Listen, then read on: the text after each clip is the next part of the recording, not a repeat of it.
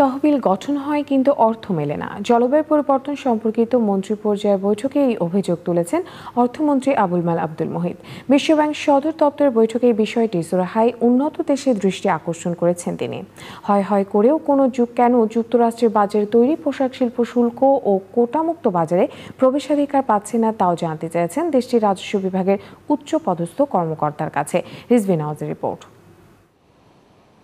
বিশ্বব্যাংক আন্তর্জাতিক মুদ্রা তহবিল আইএমএফ এর বার্ষিক সম্মেলনের দ্বিতীয় দিনে আইএমএফ গভর্নরদের আনুষ্ঠানিক ফটো সেশন। এরপরই সদস্য দেশের অর্থমন্ত্রী এবং কেন্দ্রীয় ব্যাংকের গভর্নরদের নিয়ে বৈঠকে বসেন আইএমএফ এর ব্যবস্থাপনা পরিচালক ক্রিস্টিন লাগার্ড। বৈঠকে বাংলাদেশ, ভুটান এবং শ্রীলঙ্কার পক্ষে বক্তব্য তুলে ধরেন ভারতের অর্থমন্ত্রী অরুণ জেটলি। গত বৈঠকের ধারাবাহিকতায় এবারও জলবায়ু পরিবর্তন মোকাবেলায় গঠিত তহবিল এবং ভবিষ্যৎ করণীয় নিয়ে মন্ত্রী পর্যায়ের বৈঠকে যোগ দেন অর্থমন্ত্রী। বিশ্বব্যাংক প্রেসিডেন্ট ডক্টর জিম ইয়ং কিমের সভাপতিত্বে অনুষ্ঠিত বৈঠকে তহবিল নিয়ে অভিযোগ জানান বাংলাদেশের অর্থমন্ত্রী। ক্লাইমেটের যে কষ্ট আমরা ভোগ করছি we don't contribute anything to it we are suffering because of the world not because of us তাদের ওয়ার্মিং তাদের যে কার্বন এমিশন তার ফলে আমাদের অসুবিধা হচ্ছে।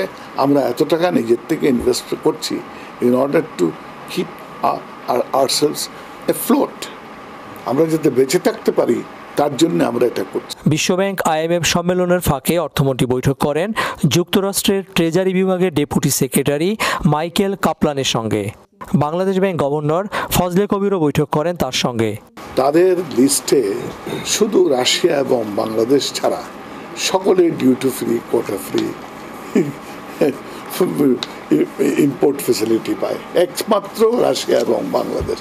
স্থানীয় সময় রোববার শেষ হবে বিশ্বব্যাংক আইএমএফ এর বার্ষিক সম্মেলন।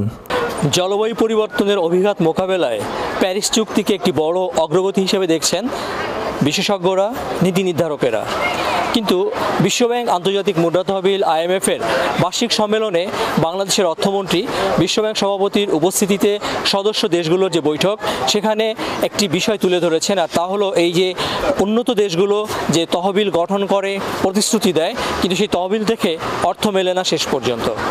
এই বিষয়টি সমাধান যদি না হয়, তাহলে এরকম তহবিল গঠনের যৌক্তিকতা নিয়ে প্রশ্ন তুলেছেন তিনি। রিজবিন আওয়াজ চ্যানেল আই বিশ্বব্যাংক সদর দপ্তর ওয়াশিংটন ডিসি যুক্তরাষ্ট্র।